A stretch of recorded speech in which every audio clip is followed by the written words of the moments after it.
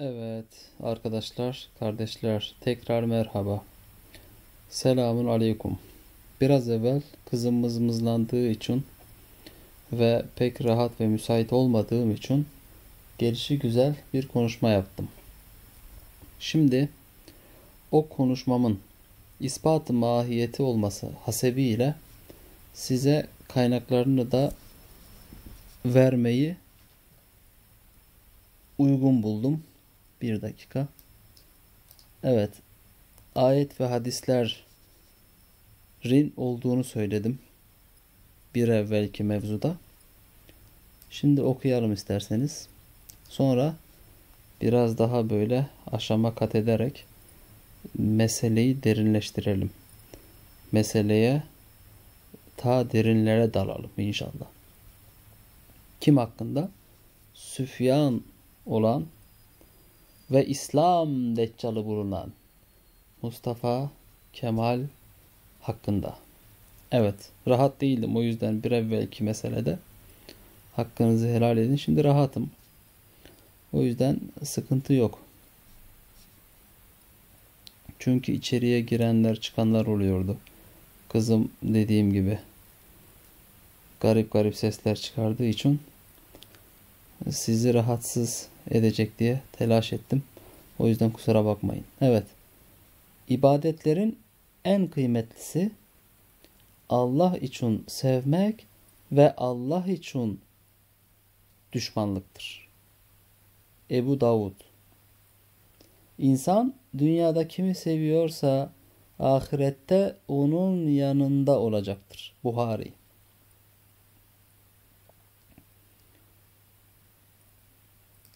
Bunlar hadis tabii ki.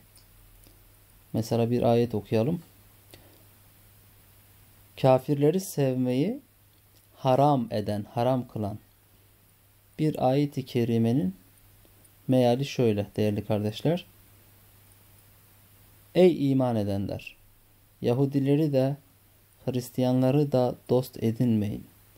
Onlar İslam'a olan düşmanlıklarında biri birinin dostudur. Onları dost edinen de onlardan olur. Allahu Teala kafirleri dost edinip kendine zulmedenlere hidayet etmez. Maide 51 Ey iman edenler! Benim ve sizin düşmanınız olanları dost edinmeyiniz.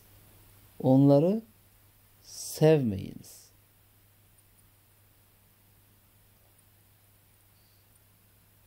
Mümtehine 1. Evet şimdi size tabletin ekranını gösterirken ben dizüstü bilgisayarımdan yaklaşık olarak 1,5 metrelik mesafeden okuduğum için yavaş ve zorlanarak okuyorum. Hakkınızı helal edin. Çok net göremiyorum yazılar ufak. Allahu Teala eshab-ı kiramı kafirlere gadap ederler birbirlerine merhametlidirler diye övmektedir. Fetih suresi 29. Hani öğle namazlarının tesbihatının ahirinde okuyoruz ya eşittau alel küffar ve ruhamau beynahum diye kafirlere şiddetlidirler yani. Kendi aralarında müminlere ve Müslümanlara nedir? Merhametlidirler. Öyle değil mi?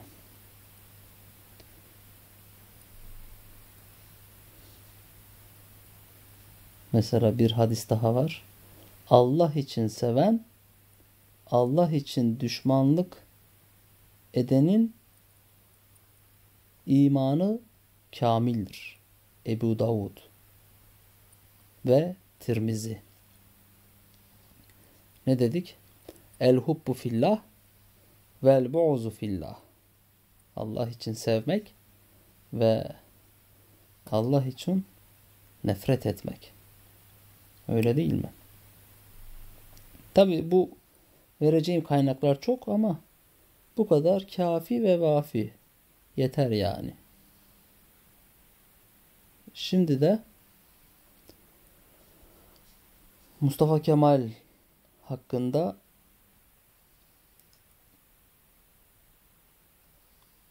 kullandığımız, istimal ettiğimiz Süfyan kelimesine gelelim. Geçelim, geçiş yapalım. Şimdi bilindiği gibi Süfyan kelimesi ne demek? Bediüzzaman da bu ifadeyi çok sık telaffuz eder. Süfyan kelimesi değerli kardeşler sefa, yesfi, sefyen kökünden gelen fu'lan kalıbında bir isimdir. Kelimelerin iyiye ve hem de kötüye delalet eden yönlerinin olduğu bilinmektedir. Mesela Mesih kelimesi hem Deccal ve hem de Hazreti İsa hakkında ifade edilmiştir. Yani bunu nasıl anlamak lazım? Bunu da Üstad Hazretleri Şualar Risalesi'nin son kısmında tevil etmiştir. Hani diyoruz ya tesbihatta Allahümme ecirna min fitneti mesih deccal ve süfyan. Mesih deccal.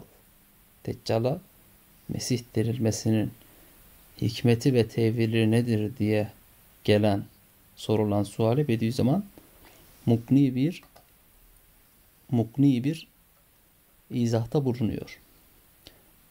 Yani demek ki bir kelimenin bir kimse hakkında iyi veya kötü bir mana ifade etmesi nedir? O kişinin fiilleriyle, inançları ile yakından alakalıdır, ilgilidir.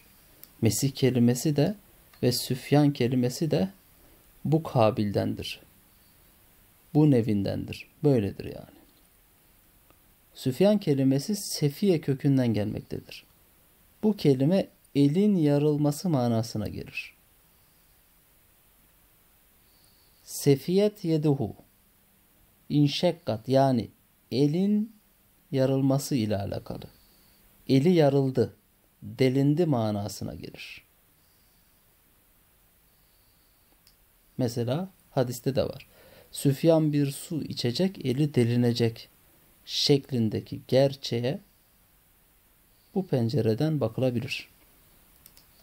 Mesela Süfyan'ın yani Mustafa Kemal'in soyunun olmadığı, soyunun kesik olduğu ifade edilir risalelerde. Öyle tevil, öyle tefsir edilir. Bu da kaynak olarak Kevser suresinin son ayeti ile alakalıdır. Ne diyordu mesela? Kevser suresinde hemen orayı da hatırlayalım. Mesela Resulüm sana karşı kin besleyenin nesli soyu kesiktir. Huvel ebter. Değil mi? İnna şaniyeke huvel ebter.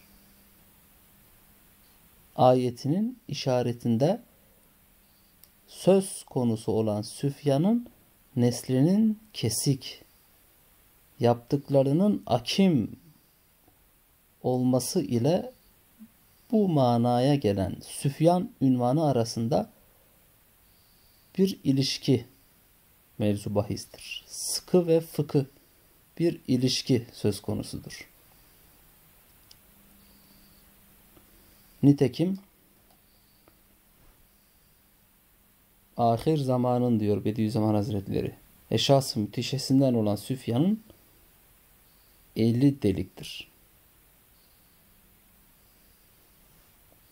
Diye 5. şuada bu mesele bu hadis tefsir edilmiştir. O da müteşabih hadistir mesela. Mesela bu kökten gelen esfa kelimesi alnındaki kılları az olan atlar için kullanılır ve bu vasıf kötü olarak görülür. Bu manada Süfyan'ın başının ön kısmında saçlarının dökük ve hafif olduğuna işaret eder. Yani alnındaki yazıya. Şimdi birkaç kaynak okuduktan sonra şimdi esas mesele olan risalelere göz atalım. Evet. Şimdi inşallah okuyabiliyorsunuz değil mi? Net görebiliyorsunuzdur inşallah. Uzaklaştırınca bozuluyor gibi fakat şöyle yakın tutalım. Şimdi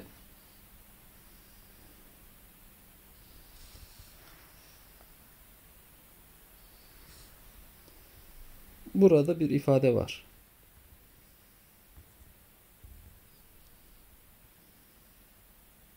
Mesela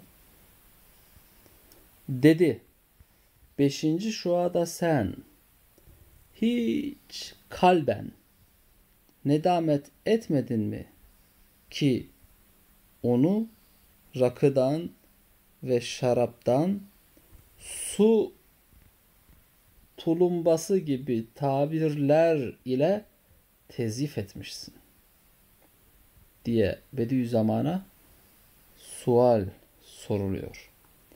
Beşinci şuada sen Şualar Risalesi'nde onu yani Mustafa Kemal'i tezif etmişsin. Hiç pişman olmadın mı? Rakı ve su tulumbası gibi tabirlerle. Hani hasta olacak vesaire o meseleye Üstad Hazretleri temas ediyor. Fakat şualarda böyle doğrudan doğruya bu mesele ile alakalı bir ifadeye rastlayamazsınız.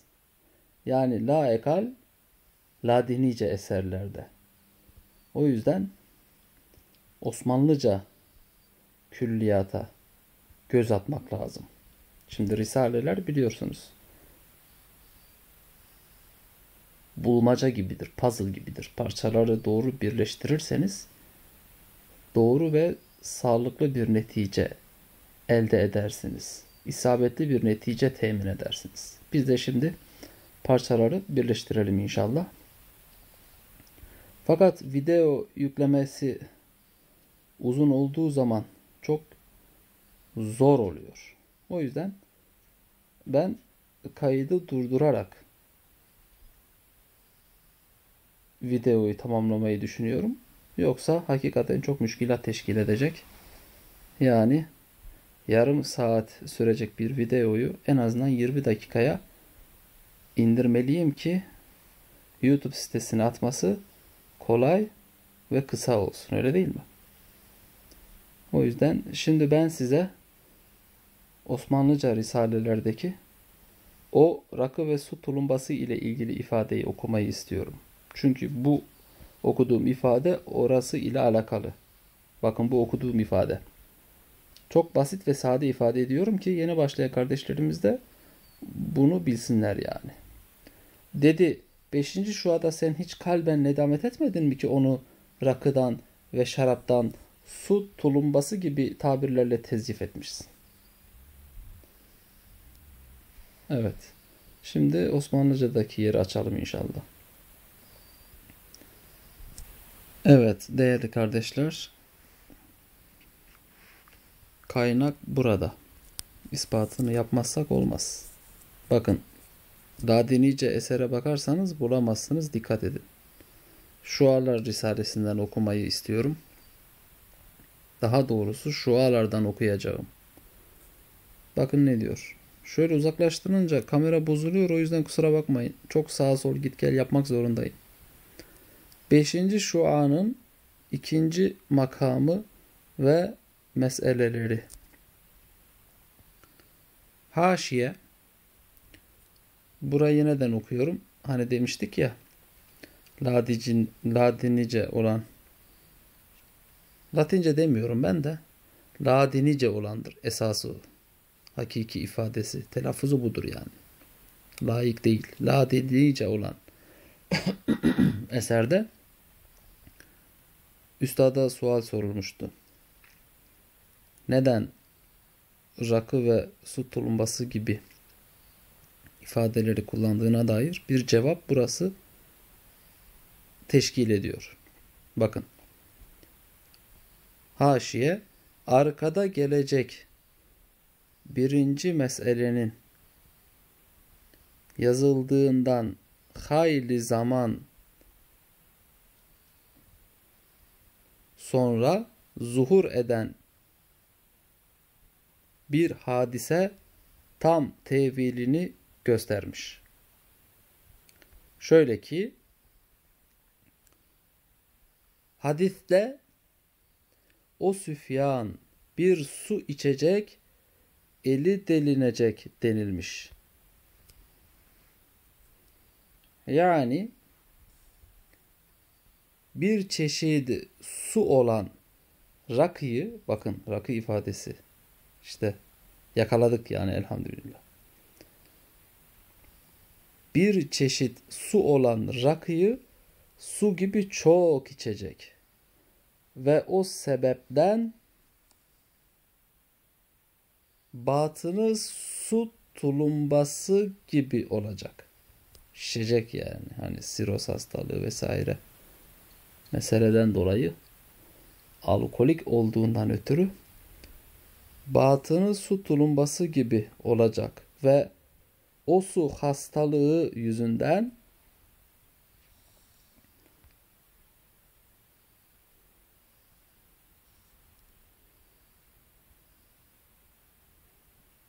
o su hastalığı yüzünden şimdi ben de sizin görüş açınıza göre takip ettiğim için biraz zorlanıyorum. Kusura bakmayın. Telefondan ekrana tuttuğum için yansıma yapıyor. Net okuyamıyorum. Göremiyorum daha doğrusu.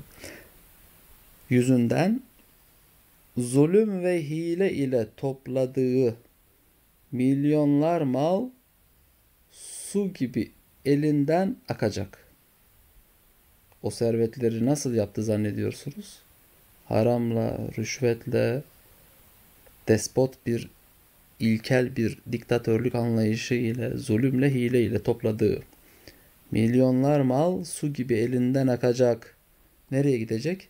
Ecnebi doktorlarının boğazına girecek. Beni Türk hekimlerine emanet edin sözü yalan, kuyruklu palavradır. Kendisi paraları Avrupa doktorlarına, hekimlerine sarf etmiştir. Zulüm ve hileyle topladığı paraları. Lanetullahi ale zalimine vel münafıkine. Mesmuatıma nazaran 3 senede 3 milyona yakın liraları tedavisine gayet israf ile sarf eden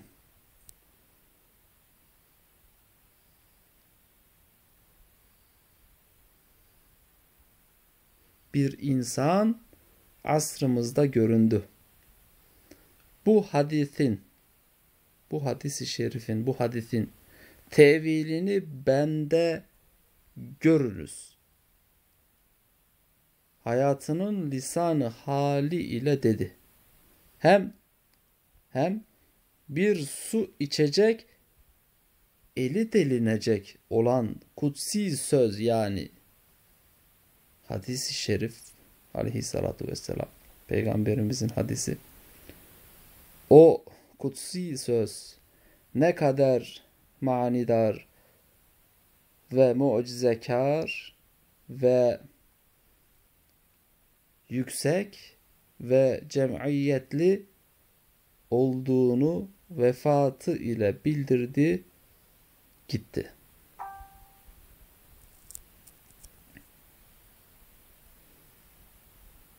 Tabi buralar